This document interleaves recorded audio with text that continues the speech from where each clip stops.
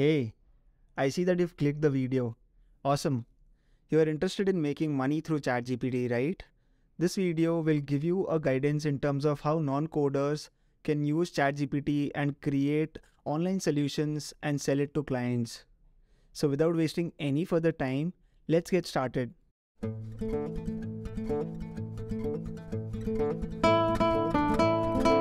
Do you know that there are companies that only extract data or scrape data from the internet and make tons of money? I'll give you an example. There are multiple FMCG companies, marketing companies that are listed on the stock market. Now, for these companies, it's very important to have reviews and ratings in their system so that they can judge how their products are performing online. They cannot go out there and scrape websites because it's illegal for companies that are publicly listed. What do they do? They reach out to companies that can scrape data legally for them and they pay money for it. This is not only existing for FMCG companies, but there are small companies, there are medium scale companies that require online data, which is where it's good to know web scraping, right? But now you would tell me, hey Bhavesh, I'm not a coder. How do I kind of create such web scraping solutions? Well, here is where ChatGPT will kind of help you create the entire solution like literally the entire web scraping solution for free. At this point of time, ChatGPT is free. I don't know what happens in the coming months, but right now it's free. So I'll show you the solution that I've created. I've not written a single line of code. And all you require is you have to find a way to run Python in your machine. That's about it. Excited? Let me now show you how this exactly happens. Let's go.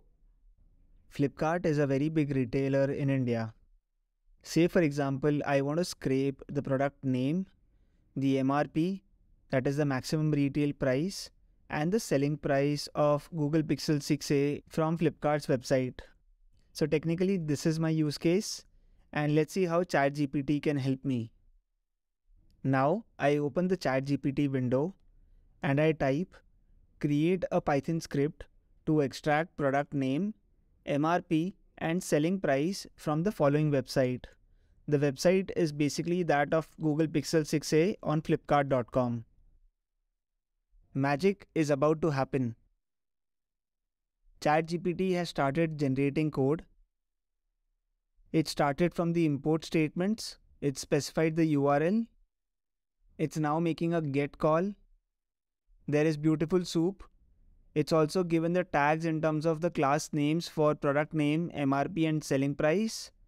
And finally, it's printing all the output. Everything right from start to end has been generated by ChatGPT. I take the entire code that has been generated by ChatGPT and I paste it into a Jupyter notebook. And all I do next is I run the cell.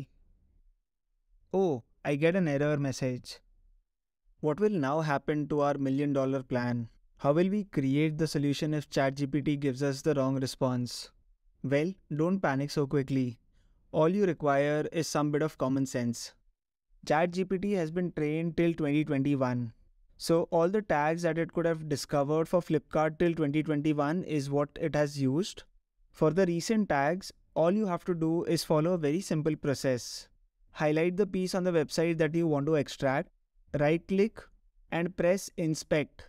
In the inspect section, it will show you span class equal to b underscore something something. Well, that b underscore something is the tag that will help you extract the product name. So let's copy that. Let me now comment out MRP and selling price and their corresponding print statements. And let us replace the existing tag with the new tag that we have discovered and check if it works or not. Amazing, it works. Let's carry out the same activity for MRP that is maximum retail price and the selling price.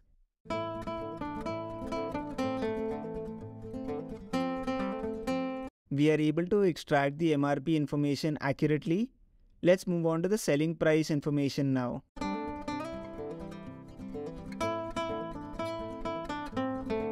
We are also able to successfully extract the selling price. Now we have the entire data extraction pipeline set up where we are able to extract the product name, the MRP as well as the selling price. But customers are tough to deal with.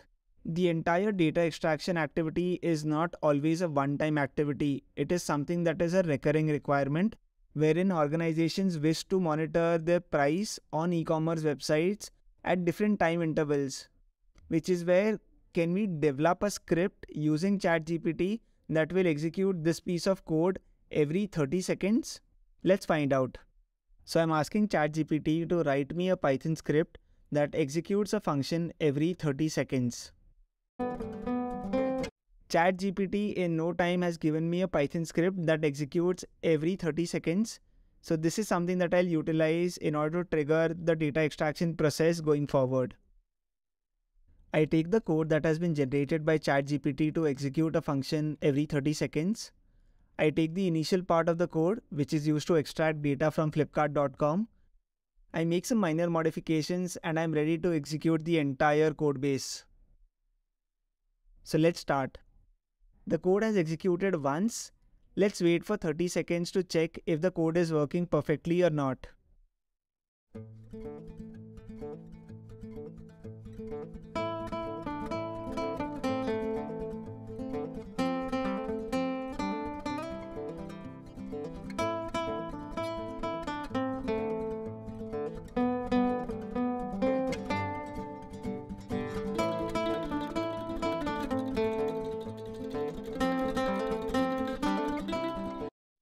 The code indeed is working perfectly. Isn't this amazing? What did I just do? I had a problem statement in mind. I used ChatGPT to create a Python code, and the entire solution is something that I can use without writing or without knowing a single line of code. This is how amazing ChatGPT is. I think, I hope, I pray that you found this video helpful. If you do like the content that I post on my channel, it would be super, super motivating if you can press the subscribe button and also press the bell icon to be notified for amazing videos that I create on data science and machine learning. I have just one small request to all of you. It would be super, super, super helpful if you can share this video across with your friends and family so that it can reach out to multiple people who want to kind of break the initial barrier of using ChatGPT. Thank you so much for watching the video.